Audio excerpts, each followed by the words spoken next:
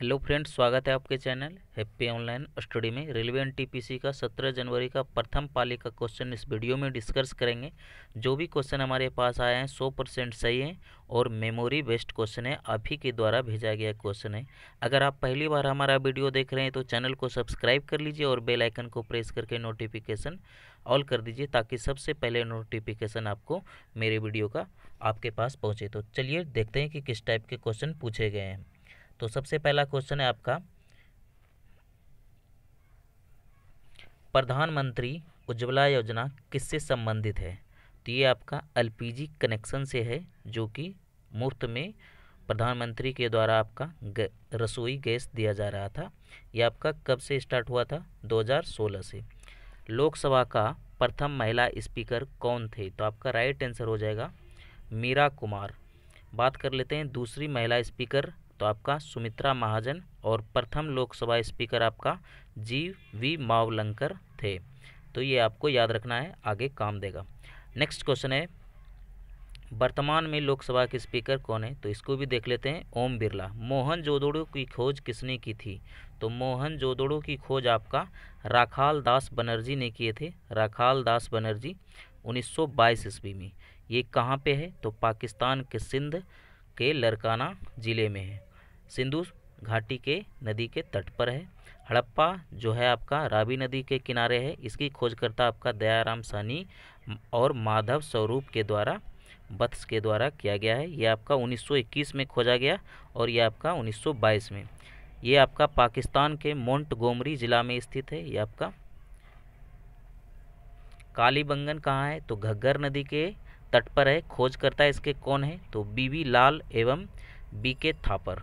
ये आपका उन्नीस सौ तिरपन ईस्वी में राजस्थान का हनुमानगढ़ जिला में स्थित है। उन्नीस सौ तिरपन ईस्वी में ये खोजा गया था। उन्नीस सौ तिरपन।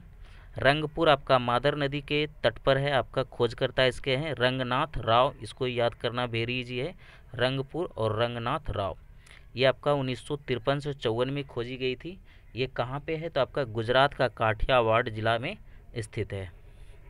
भारत की सबसे लंबी राष्ट्रीय मार्ग कौन सी है? तो भारत की सबसे लंबी राष्ट्रीय मार्ग एन एच फोर्टी फोर है। तो ये आपको याद रखना है, N H forty four Srinagar से जम, कन्याकुमारी तक इसकी लेंथ है। नालंदा विश्वविद्यालय किसने बनवाया था? तो नालंदा विश्वविद्यालय आपका कुमार गुप्त ने बनवाया था। ये आपका कहाँ है? तो बिहार में है। बैरोमीटर का उपयोग किसमें होता है? तो बैरोमीटर का उपयोग आपका यह उपकरण वायु दाब मापने के काम में आता है। वायु दाब मापने के काम में आता है। बैरोग्राफ को भी जान लेते हैं। यह वायु के दाब में होने वाली परिवर्तन को मापा जाता है। बैरोग्राफ आपका वायु दाब में परिवर्तन को, होने वाले मापों को मापा जाता है और ये आपका वायु दाब मापने के काम में आता है बैरोमीटर। इसका उपयोग उड़ते हुए विमान में, अल्टीमीटर का उपयोग आपका उड़ते हुए विमान में ऊंचाई मापने के लिए काम में आता है। देख लेते हैं, एरोमीटर। ये आपका एरोमीटर इससे पता चल रहा है एयर। तो ये आपका बायोगैस और घनत्व मापने के काम में आता है। एयरोमीटर। नेक्स्ट है, गैल्वेनोमीटर। इसका उपयोग छोटे विद्युत परिपथ में विद्युत धारा दिशा एवं निर्देश मापने में काम आता है गैल्वेनोमीटर। नेक्स्ट आता है हाइड्रोमीटर। इसको भी देख लेते हैं। ये, यह उपकरण ऐसा है जो दरबों के आपेक्षित घनत्व को, धर्मों लिखा गया है, दरबों के आपेक्षित घनत्व को ज्ञात करते हैं। हाइग्रोमीटर को भी देख लेते हैं, ये आपका हाइड्रो है, ये आपका हाइग्रो है। तो इस उपकरण के द्वारा पानी के अंदर ध्वनि की तरंग गणना करने में काम आने वाला उपकरण है। एक आता है फैदोमीटर। यह यंत्र समुद्र की गहराई मापने के काम में आता है। तो इतना आप लोग याद रखिए, इस रिलेटेड टॉपिक से आप लोग देख कर जाइए। मानव पहला रोबोट कौन था? पहला रोबोट विश्व का कौन था? कौन है? सोफिया, जो कि आपका विश्व में है। मधुबनी पेंटिंग कहाँ है? मधुबनी पेंटिंग जो है, आपका है, कहाँ की है? तो ये आपका बिहार की है। ये मधुबनी ज़िला भी है आपका बिहार में। वहाँ से ये वोल्ट मीटर किसके लिए इस्तेमाल होता है? तो वोल्ट मीटर आपका विद्युत मापने के काम में आता है, वोल्ट को मापने में। नेक्स्ट क्वेश्चन है गूगल क्या है? तो गूगल एक ब्राउज़र है। कल के वीडियो में बताए थे जितने भी ब्राउज़र हैं, Google, Mozilla Firefox Chrome, Google Chrome, ये सारे आपके ब्राउज़र हैं। तो वो वाले वीडियो नहीं देखे हैं तो उसको भी देख लीजिए आप लोग। यू यूएनओ का हेड क्वार्टर कहाँ है? तो यूएनओ का हेड क्वार्टर आपका न्यूयॉर्क में है। इसको भी बताए थे, कल डिटेल से इसकी स्थापना आपका 24 अक्टूबर 1945 को हुआ है। यूएनओ नेक्स्ट क्वेश्चन है, विश्व में स्वास्थ्य का ध्यान रखने वाला कौन सा संगठन है? तो आपका W H O W H O world health organization इसके स्थापना की बात कर ले तो इसकी स्थापना आपका सात अप्रैल 1948 सात अप्रैल 1948 को हुआ था, इसकी हेडक्वार्टर आपका जेनेवा में स्विट्जरलैंड में। नेक्स्ट क्वेश्चन है आपका, चंद्रयान द्वितीय कब लॉन्च हुआ था? तो इसको भी डिस्कस किए थे पिछले वाले वीडियो में। तो 22 जुलाई 2019 को ये आपका लॉन्च हुआ था। नेक्स्ट क्वेश्चन आपका, चंद्रयान प्रथम। तो चंद्रयान प्रथम लॉन्च आपका 22 अक्टूबर 2008 को हुआ था।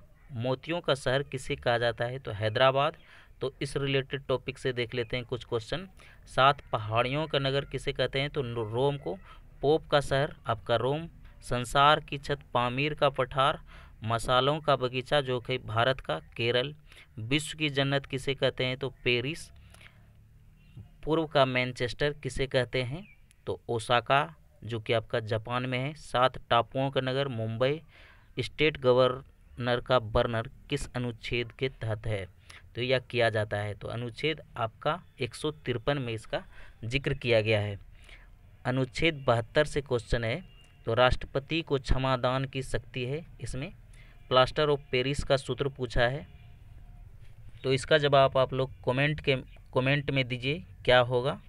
सीपीयू का फुल फॉर्म क्या है? तो सीपीयू का फुल फॉर्म ऑलरेडी आपको बताइए सेंट्रल प्रोसेसिंग यूनिट ये क्वेश्चन रिपीटेड बहुत बार हो रहे हैं। चंद्रयान टू का नाम क्या था? एक क्वेश्चन था आपका, चंद्रयान टू का नाम क्या था? तो इसका विक्रम लैंडर था, जो आपका इसका नाम डॉक्टर विक्रम साराभाई के नाम पर रखा गया है, जिसे भारतीय अंतरिक्ष कार्यक्रम का जनक भी कहते हैं। तो ये आपको याद रखना है। नेक्स्ट क्वेश्चन है आपका यूनेस्को से संबंधित कुछ क्वेश्चन थे कि 2011 में या 12 में किसे शामिल किया गया? तो आपका 12 में पश्चिमी घाट को शामिल किया गया। तेरह में राजस्थान की पहाड़ियों के शामिल किया गया।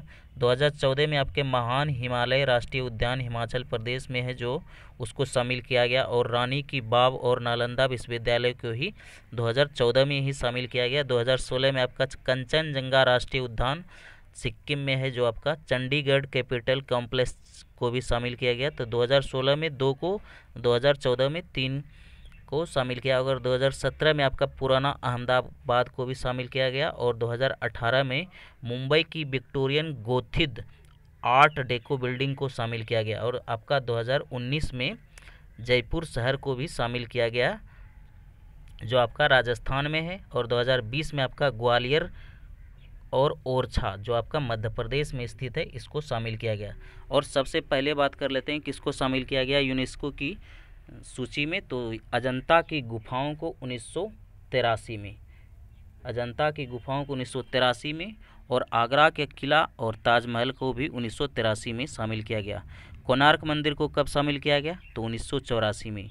ब्लैक पैगोंडा को भी शामिल, इसे ब्लैक पैगोंडा के नाम से जानते हैं, कोणार्क मंदिर को। तो महाबलीपुरम को भी आपका उन्नीस सौ चौरासी में ही शामिल किया गया। तो ये सब आपको फैक्ट याद रखना है। इसको ऑलरेडी पहले भी डिस्कस कर चुके हैं।